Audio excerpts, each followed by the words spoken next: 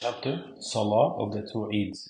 The Prophet ﷺ commanded the people to go out for them both, the two Eid prayers, even the adolescent girl and the menstruating woman, who will witness the goodness and the supplication of the Muslim.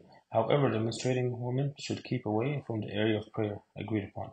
Its timing from when the sun has risen to the height of the spear until Zawal. It starts moving towards.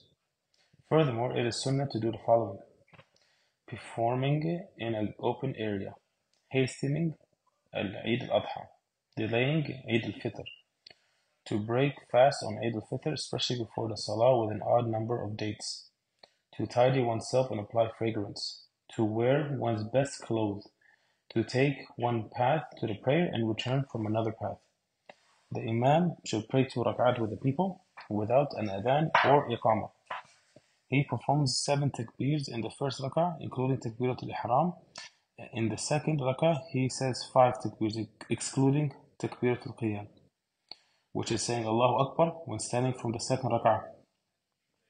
Additionally, he raises his hands with each takbir, praising Allah and sending salutation upon the Prophet ﷺ between every two takbir.